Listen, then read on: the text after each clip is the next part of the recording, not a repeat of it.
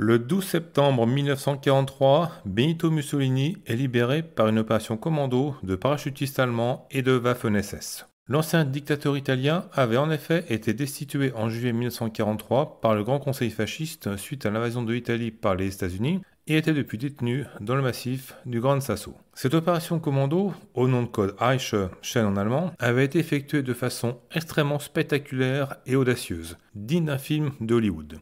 Le mérite en sera attribué par la propagande nazie, d'abord aux Waffen-SS, mais il semble que ce mérite revenait surtout aux commandos parachutistes, les Fallschirmjäger. Fallschirmjäger qui méritait peut-être plus que les Waffen-SS le titre de troupe d'élite de l'armée allemande. Mussolini sera placé par les Allemands à la tête de la République de Salo, un état fasciste fantoche dans le nord de l'Italie qui s'écroulera avec la défaite allemande en avril 1945. Mussolini lui-même sera capturé et exécuté par les partisans italiens le 28 avril 1945.